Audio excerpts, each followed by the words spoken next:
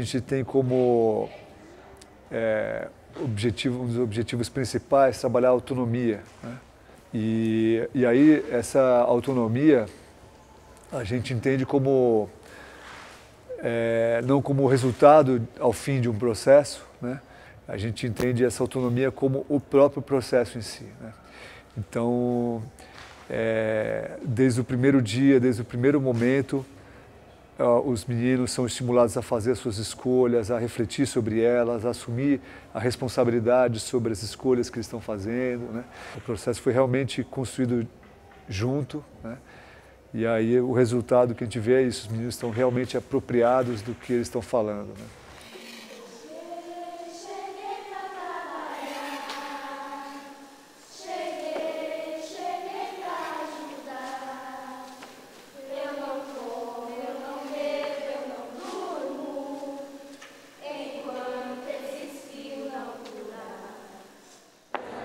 A gente pediu uma carta para eles endereçarem para eles no futuro. Então, o que eles achariam, onde eles estariam daqui a 10, 15 anos? E você tinha que colocar o endereço do local. E um dos meninos escreveu e colocou o endereço do cemitério São Luís.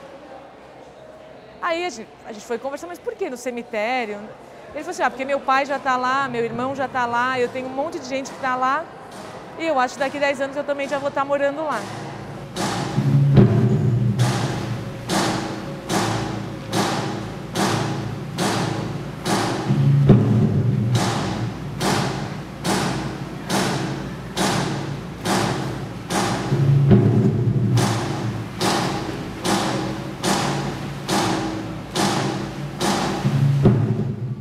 Teatro para mim desde o primeiro dia foi uma descoberta assim, muito grande, porque eu era muito tímida, tinha muita... Eu, tinha... eu era muito fechada, eu era muito para mim, eu era muito eu. E depois que comecei a fazer teatro através dos exercícios, de, de concentração, de foco, eu comecei a, a me soltar mais.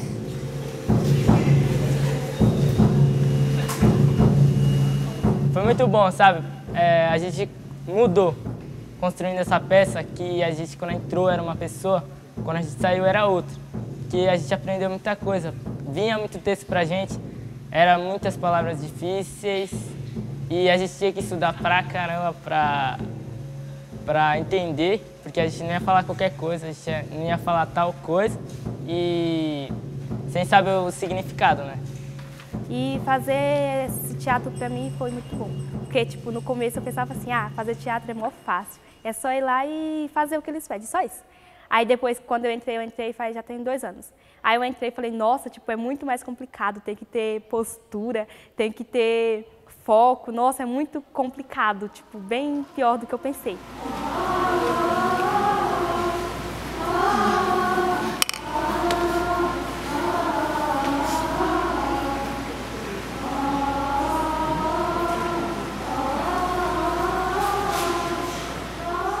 Pensou no mito do Minotauro, que são sempre 10 jovens oferecidos para o Minotauro.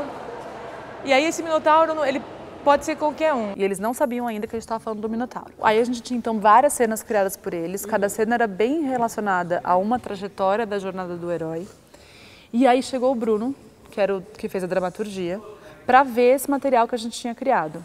Então a gente começou a apresentar para o Bruno todas as cenas criadas pela turma, né, e a partir disso, um, um embrião começa a ser formado.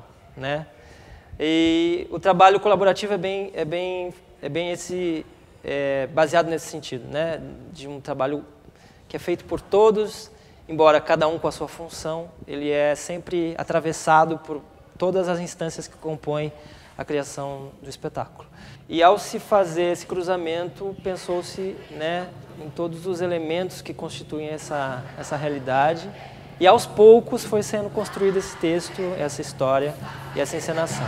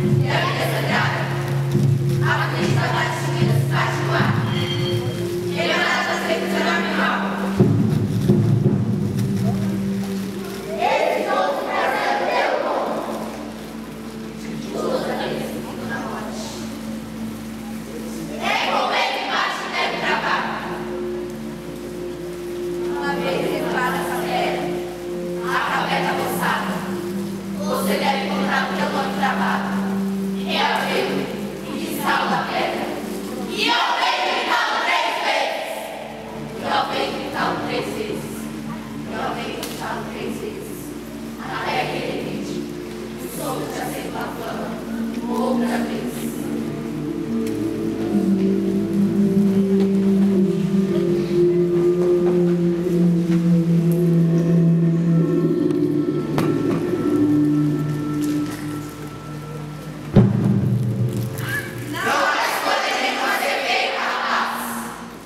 Então eu tive uma preocupação assim de tentar fazer esse universo do texto que era bem distante se tornar um pouco mais próximo, né? É, até foi, foi uma coisa curiosa quando, quando eu cheguei, que eu vi que o texto propunha muitas imagens paradas e o que eles mais gostavam de fazer era dançar e, e se movimentar.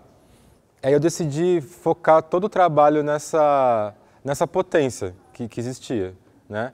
que era a ocupação do espaço com o desenho coral e a fala sendo dita com precisão, é, no tempo correto, em coro, né? E muitas vezes trabalhando com uma rítmica aí para para trazer a, o entendimento do texto mais pela via sensorial é, do que pela, pela via mais racional.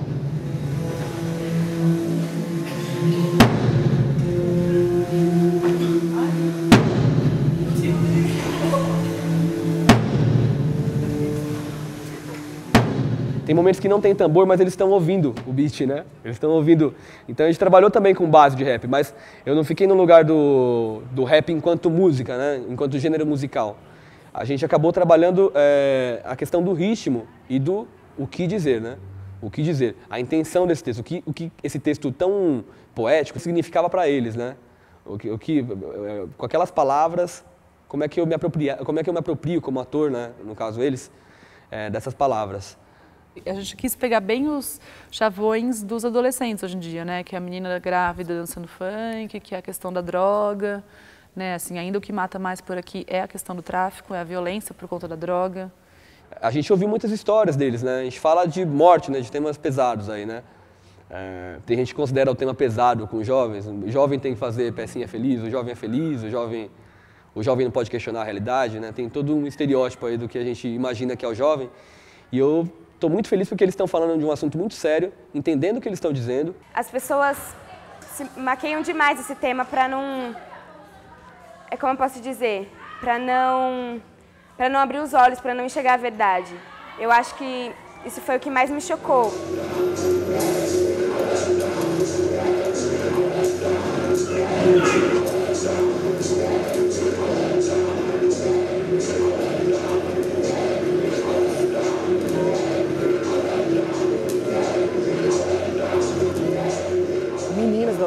Que ficam grávidas, que entram no crime. Isso foi uma coisa que foi importante não para mim, foi para todo mundo e que é o ideal da nossa peça para mostrar para todo mundo, para todo mundo saber o caminho certo e não ficar na, nas independências do crack, a gravidez e essas coisas assim. Mas foi muito bom escolher esse tema porque a gente queria mudar a visão das pessoas de onde elas moram e tal. E se eu escolhesse, deixa eu ver, outro, outro assunto não ia ter tanta repercussão como teve agora.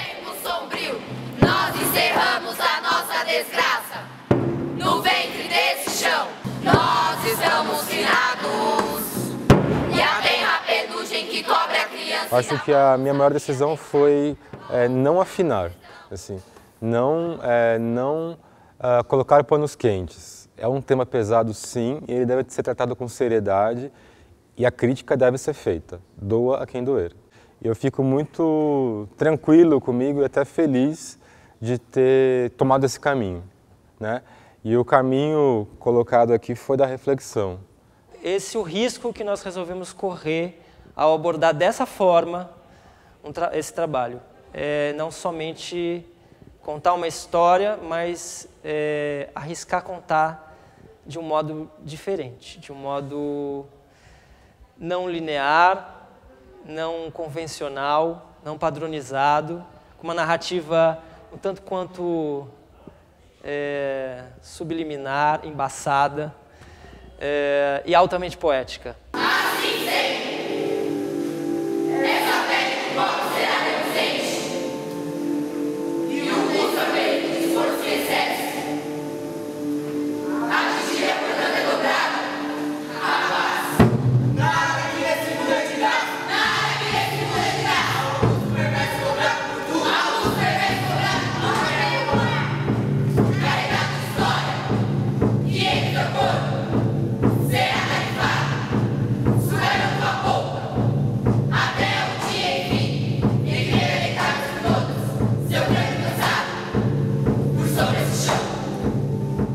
Imaginando é, esses meninos passando por essa experiência, né, nessa fase da vida, né, eu tenho a impressão de que eles vão levar essa experiência com eles para sempre. né.